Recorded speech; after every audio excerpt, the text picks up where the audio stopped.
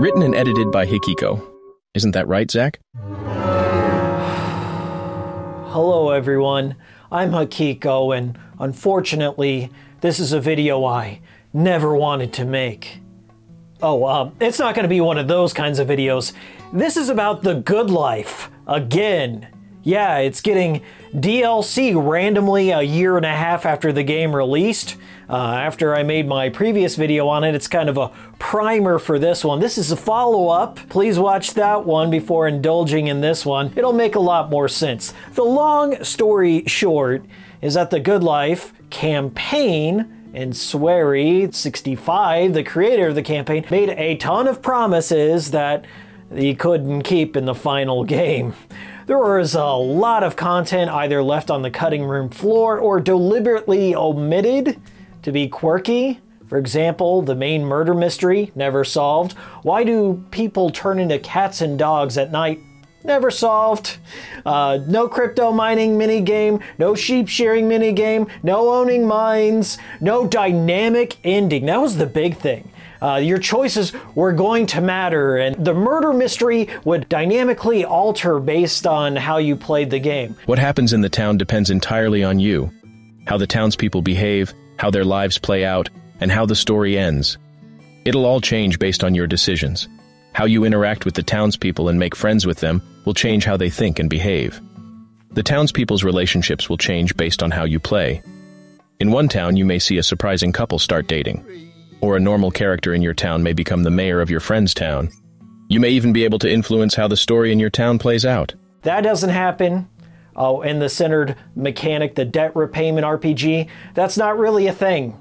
You just do all the main story quests and then you pay off all your debt. So when Swery randomly tweets out that, hey, guess what? The Good Life's getting paid DLC, comes out in a few days. It's called Behind the Secret of Rainy Woods, implying that he's going to charge the people who already paid for the game uh, an additional fee to get the ending, the conclusion of The Good Life. Uh, that didn't sit well with me, and I didn't want to make this video. Honestly, I was not going to make it until I put out a Twitter poll saying, you want me to make this? And I got over 200 responses. So here we are, the Good Life DLC video.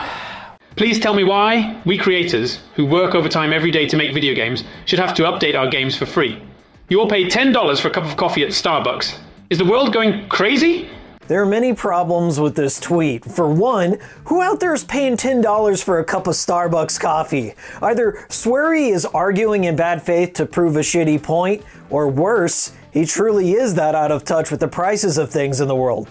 Secondly, if I'm unhappy with the prices over at Starbucks, there are other places to go get coffee. For example, I go to McDonald's, I can get a McCafe coffee for $1. I can get multiple cups of coffee.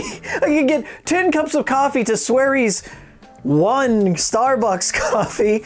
Uh, and if I'm unsatisfied, if there's something wrong with my order, I have the option of just returning the item, exchanging it, getting my money back. Uh, I have that option with this McDonald's content. I don't have that option with your DLC.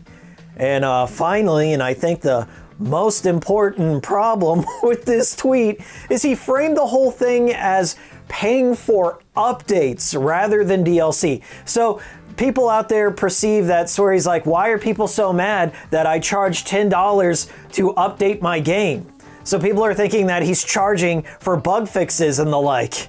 Well, yeah, I can see a problem with that, considering how buggy this game was at launch and all of Swery's past games have been. Uh, yeah, I think it comes off as a little out of touch whenever you say charging for updates. But let's look at it from the DLC perspective, his true intention here with this tweet. Uh, was it worth $9.99? The the Behind the Secrets of Rainy Woods DLC? Does it reveal all of the mysteries like who killed Elizabeth or why do the people turn into cats and dogs at night? Why was Naomi in so much debt? The whole purpose for the game. Does it add some of the missing mechanics uh, that were promised in the Kickstarter? Does it do any of that for $9.99? We're about to find out.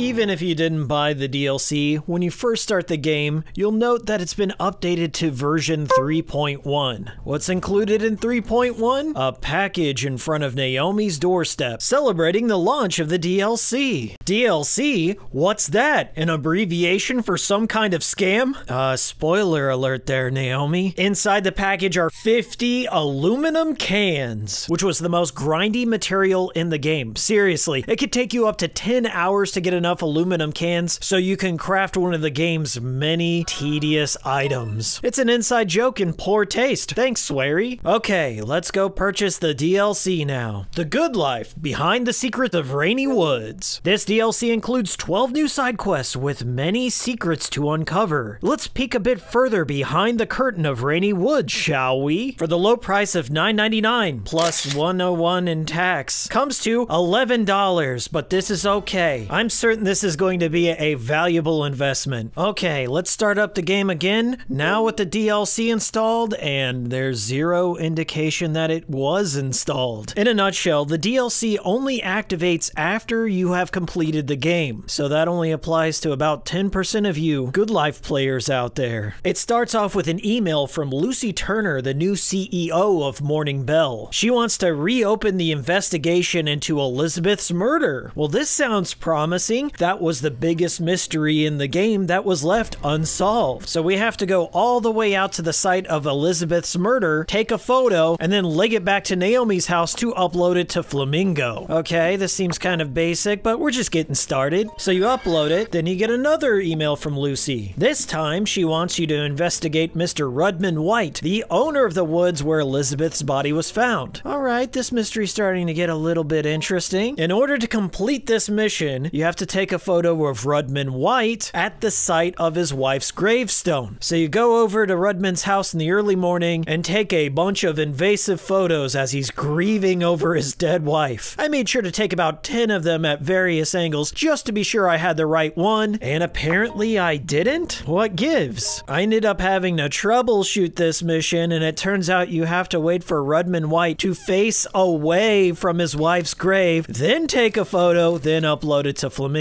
No indication that would be the case. Another email from Lucy. Turns out a former classmate of Rudman says, This isn't the Rudman I know. Alright, what am I supposed to do with that? Never mind the Elizabeth murder. Now it's time to take photos of the citizens of Rainy Woods turning into cats and dogs at midnight. That's another critical mystery left unsolved. Why do they transform into them? This is the town's biggest secret, so let's take more photos of cats and dogs. So you wait until a full moon, take photos of cats and dogs, and then once again, upload them to Flamingo. Seems like we're going in circles here, beat for beat, the main plot recapped for us. Well, it has been a year and a half. What's next, Lucy? So the photos of the cats and dogs we uploaded seem like normal cats and dogs to all the analysts out there. So we're gonna have to reinvestigate the antagonist of the game, Dr. Anderson's former site where his laboratory used to be. So then you just run out and look for a wide open space where his tent used to be, take a photo, upload it to Flamingo. I'm sure this is gonna be the one. The revelations are coming out. Another email from Lucy. Hey, remember Elizabeth's wheelchair that she was riding around in and no longer needs? Wasn't that weird? Why don't you go investigate Elizabeth, the person who's not supposed to be alive? Yes, this has gotta be it. This must be the secret of Rainy Woods. Let's go take a photo of Elizabeth so we can then upload it to Flamingo. Alright, I uploaded the photo and Lucy tells me in an email that she's gonna stop the investigation because she's afraid she's going to get murdered. And it's better that we don't solve this mystery. That's it? Okay, maybe that was the wrong quest line. Let me go do Elizabeth's quest line. The Secrets of Rainy Woods. This has to be it. We're gonna find out how she was murdered and why she's still alive. Elizabeth wants to meet Naomi at a campground. When Naomi arrives, Elizabeth requests Naomi to make her mushroomless mushroom soup. So then we're doing a fetch quest to get all the ingredients, and then we make her the soup. And uh, Elizabeth divulges that there may be alternate realities. But no, it's not a multiverse. It's a totally different thing, but I'm not going to explain it. Continue on with the quest line. The Secrets of Rainy Woods Part 2. Elizabeth wants to play an adult game of hide and seek up in an old abandoned quarry. Thankfully, Naomi is equipped for the task at hand. Remember, she can turn into a dog and do some good old fashioned fart cloud sniffing. You pick up on Elizabeth's scent and then hop hop up into this crater and oh, there she is. All right, out with the secrets. Thanks for playing hide and seek. By the way, there may be multiple versions of you, Naomi. See you later. Secrets of Rainy Woods Part 3. Elizabeth wants to hang out at a waterfall. Hey, can you take a quick photo of me here? All right, another secret. In an alternate reality, one of the town citizens might have been a murderer and his hideout was behind the waterfall. By the way, none of this happened in this reality. I just thought it would be a cool anecdote to tell about this waterfall. My senses are tingling. We gotta keep going on with this. The Secret of Rainy Woods Part 4. Elizabeth wants you to dig up some buried treasure up in the snowy mountain. Go meet me there. So, Naomi hikes her leg and makes some yellow snow, digs up an old photograph and gives it to Elizabeth. Elizabeth imparts the following. Hey, this is a photo of alternate reality me. Remember when you took that? No? It was a wonderful moment. You had to be there. Oh, you were looking for the secrets of Rainy Woods?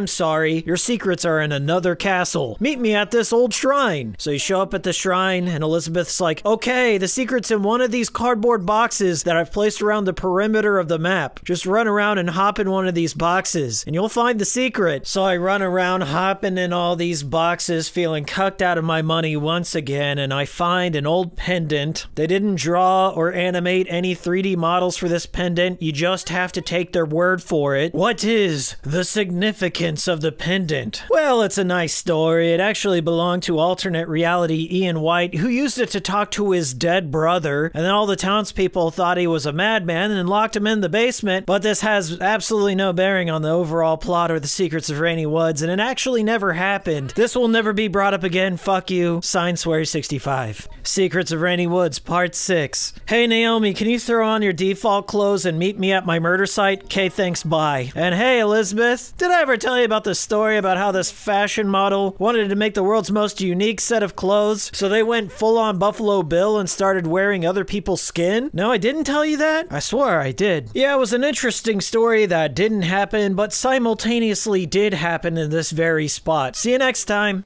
For real, this is the final Secrets of Rainy Woods quest line. Lucky number seven. Elizabeth wants to throw a house party at your house, Naomi, but I will only attend after you have placed a wooden bench in your garden. Oh, well, thankfully, I already have a pink wooden bench in my garden. Nope, that doesn't count. Craft a brand new wooden bench. Default color. So you go out of your way getting a bunch of annoying materials. Seriously, to get these wood materials, you can only buy them in quantities of three, and then you have to sleep for about four days, go back, get another quantity of three, sleep for four days, and then go back and get the final quantity of three, totaling nine wood materials so you can craft this stupid bench and then put it in your garden so the final secret can be revealed. Are you ready for it? Just kidding, bake me a pie, bitch. So then you gotta go out and get all the materials and bake Elizabeth a pie. I can't eat this pie cause you stink. Now, for no particular reason, you gotta run in, take a shower, gussy up a little bit so you can attend your own picnic that you're hosting. All right, this is it. The secrets of Rainy Woods shall be revealed. Once upon a time, there was a place called Rainy Woods where fact and fiction overlap. Things happen and don't happen at the same time. And the source of Rainy Woods' powers lie within the secrets themselves, which I cannot tell you because then Rainy Woods would lose its powers and I'm responsible for guarding those secrets. And this was all a test to see if one day you can supplant me as the secret keeper. That'll be $9.99 plus tax. Guys, Hikiko here. I'm going to be real with you, not hyperbolic at all. This was the biggest waste of $11 of my lifetime. This was the main quest line behind the secrets of Rainy Woods. What did you learn? Nothing. Who murdered Elizabeth? Doesn't matter. Happened in an alternate reality. Why do people turn into cats and dogs? Can't find out. Secret. There were no new gameplay mechanics, no new characters introduced, no more recorded voice lines, no new cutscenes. Everything was made out of existing assets from a game that's been out for a year and a half that was already missing a ton of features promised in the Kickstarter campaign that remind you we funded this game, but once again, the 10% of us who actually bothered to complete the game are expected to pay an additional $11 for these side quests that reveal nothing. They don't even grant you stuff like achievements or trophies or anything of significance. It's like this DLC doesn't even exist. Oh, oh, you know what? That may be the point here. If you think about it, in this reality, we got this shitty good life, but in another one, it was actually completed, and Swery maintained his reputation by delivering on all of his many promises. That's the point. I get it. I've solved the secret of Rainy Woods. It's bad on purpose. I feel sorry for all of you out there who just didn't get Swery's true intentions. You gotta read between the lines. Don't look at what's in front of you. Ignore reality. Think four dimensionally, and you can truly appreciate the good life experience.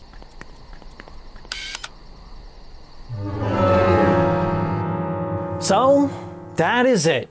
The secret behind Rainy Woods is just a series of random side quests that have nothing to do with the overall plot. No secrets are revealed. The three main secrets of the games, nope, don't even touch on them. Sorry, not this time. And apparently, this is not going to be the only DLC due, to this implication of this tweet here. He's going to release more. I'm off. I'm done with it. This is where Hikiko gets off. I'm sorry if you're expecting more, but I will not cover this game more. I'm telling you guys, steer clear. Okay, there are a lot of Swery ball washers out there that are saying, oh, you just didn't get it. The Good Life was just another quirky, cool game, and it's supposed to be low budget. What did you expect? Well, I expected Swery to live up to his own promises, for one. And for two, many people out there don't even have an investment in this game. They just played it on Game Pass and they didn't even finish it, okay? Here's the top review on Steam, by the way. Okay, this is the most upvoted review. Seven hours on record. They didn't even beat the game. So, till you've gotten a Naomi statue, till you've done all the side quests, I don't want to hear it, okay? Don't even come at me unless you got a Naomi statue, screen cap, timestamp associated with your profile. Then I'll start listening to your opinion. Okay, take it for somebody who kickstarted this game, who put a lot of money into it, who recommended to people out there on my channel that they should also invest in it and in IRL. I convinced people that had no idea who Swery was to kickstart this, so I still feel an, an ounce of guilt for that. I apologize. Uh, just avoid it. Okay, this is it. I don't want to think about. I don't want to. I don't want to. No more. No more. Good life. He goes out. You, Swery. You know what you did. You have no right to complain. You sit there and say, oh, oh I'm such an aching developer. Oh, I spent 24 hour days just working away at this good life. He actually put that out like I'm supposed to feel sorry for this half-assed, no new assets, nothing. Okay, asset flip, already existing asset abomination that you released and then you had the gall had the gall to lecture us gamers on how we spend $10 i'm done. Hopping off. See you next time